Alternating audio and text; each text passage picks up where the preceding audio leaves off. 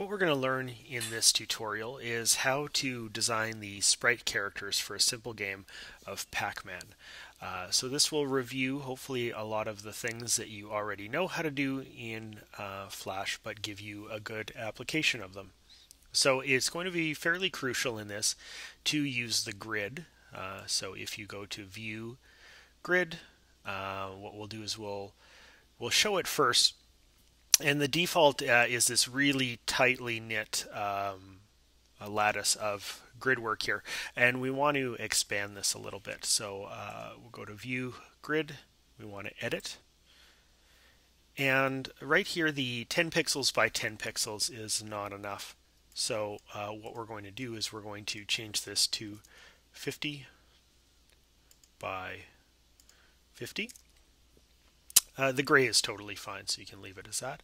Uh, but if you wanted to change the color, you could do that from here. So we'll click on OK. Uh, so what we'll do is first uh, create the characters. Uh, so uh, what you're going to do is we're going to go to Insert, pick New Symbol. And this will be the very first one that we're going to create. So you're going to call this Pac-Man. and we're going to leave this as a movie clip symbol because it'll be a, a repeating animation. Uh, so we'll click on OK. So inside here, what we're going to do is we're going to create uh, Pac-Man in a four square area. So uh, what you need to do is go to the shapes and click and hold the button. And for this, because we want to uh, be able to edit the shape after we've drawn it, you're going to use the oval primitive tool. Okay, set the interior color to yellow and the exterior color to black. Okay, uh, now go to the center of the movie clip. So you've got this little crosshairs thing here. And what you're going to do is uh, we're going to draw a circle outwards from the middle point. In order to do that, you hold Option and Shift on the keyboard and then click and drag. So you want to draw that to a distance so that the edges uh, of that circle touch the uh, grid around it. So then after you've got that created, uh, this should be the first frame of the animation where Pac-Man is a full circle. Uh, on frame 2, you're going to insert a keyframe. And then here, we're going to open the mouth a little bit. For frame 3, we're going to right-click, insert keyframe. And then this one will have the same image with a wider mouth opening. And then on frame 4, uh, we want to have the mouth slightly closed. So in order to do that, the easiest way is if you click on frame 2, and we're going to copy that frame to the end. So if you hold Option on the keyboard, you can click and drag and then move it to the end. So we get Pac-Man is this four frame animation of the opening and closing mouth. So if you go back to scene 1, click on scene 1, and then you can open up your library and you should have Pac-Man here. So we can click on that. Uh, and we're going to put that into onto the stage just as a bit of a trial. Uh, now what we're going to do is just a simple animation of Pac-Man going from the left hand of the screen to the right. Uh, so you can do that by creating a motion tween and then we'll have this end at frame 60 so we'll insert a keyframe and we'll leave that as all. And then move the playhead to frame 60 and then you can move Pac-Man to the right hand side of the stage.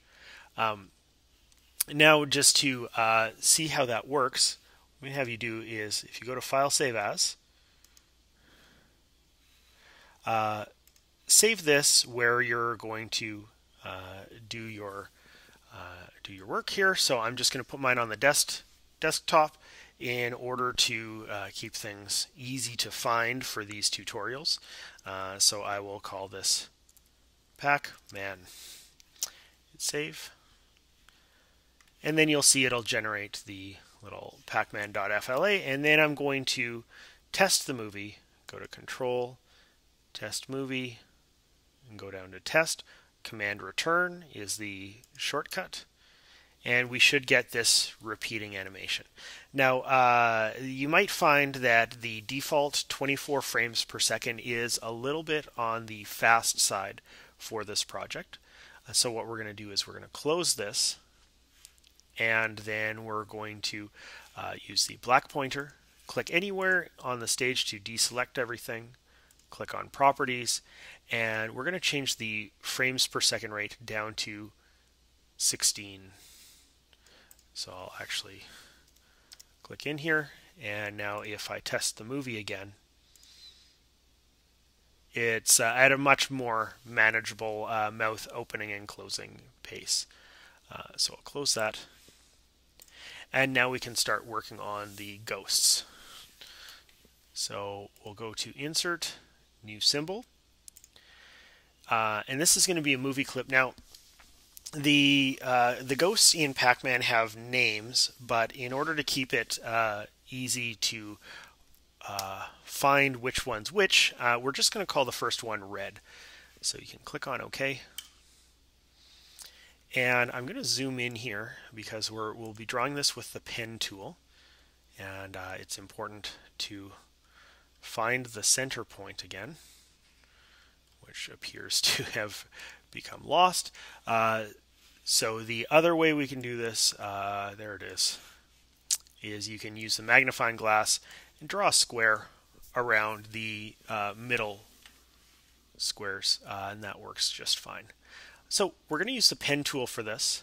Um, in the stroke color, uh, keep it as black. And this is going to be the outline for the ghost. So uh, leave the size as 1. All of the default settings, if you've got those set, uh, should be fine. So what we're going to do is we're going to click at the bottom left hand corner and we're just going to do a, a zigzag here. Uh, it should be at a peak in the middle.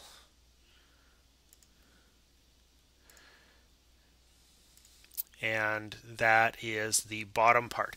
Now, to get the curve around the top, what you're going to do is uh, click and drag with the pen tool. So don't click and let go, but you're going to click and hold the button down and drag this out uh, so that the handles give you a nice curve that you're happy about. I don't want this to cross the vertical line on the right. I want to keep this uh, 100 by 100 pixels. So I'm going to let go. And then click at the original point and it will know what, uh, what the uh, slope should be for that. So we're going to fill this in. So you're going to use the paint bucket tool, use the fill color of red, and then you can fill the interior. So now if you click on the second frame, we're going to put a blank keyframe here. And we're going to draw the second frame of the ghost. In order to do that, uh, check the onion skin button so that we can see the original. Go back to the pen tool. And wherever there's a peak, uh, we're going to put a valley, and wherever there's a valley, we're going to put a peak. So we'll start way up here on the side, uh, and then I'll go down, up, down, up, down, up, and the same slope idea at the top. Try and get it to match the line of the uh, ghostly onion skinned image that we get. Get as close as you can. Now click on the first frame to fill that in and then we will use the bucket to make sure that that is red as well. So we get this as a two frame animation uh, with the bottom sort of flipping back and forth uh, between these two frames. Um, now what we want to do is we want to put the eyes on here. Uh, so if you double click on layer 1 you can call this uh, ghost. For layer 2 we'll call this eyes. Okay. And these will be the eyes for when the ghost is facing uh, they, they only go in uh, three directions: uh, up, down, left, and left and right are identical. Uh, so what we'll do is we'll we'll do the eye motion for this looking to the right. So eyes should have a black exterior, white interior, and they're simply slightly um, oval. They're not quite perfect circles. So we're going to need to move those to the side so you can copy and paste. This will do a pretty good job of telling you when they're lined up. So something like this, you can use the arrow keys to finesse that a little bit. And then uh, we're also going to need to deselect that so that we can put the pupils on the eyes. Those have a blue interior and no stroke. So we'll put this here. There we go. And you want to keep that sort of comically large. So we'll copy, paste, and we want to match that about on the other eye. So this will be the ghost looking sideways. Uh, so the eyes don't move, and we put those on a separate layer for a reason. Uh, so go ahead and just save your work, and then we'll create the other ghosts looking to the left.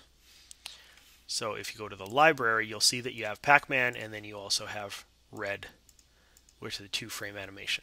So we're going to make uh, copies or duplicates of this ghost animation. So right-click, duplicate.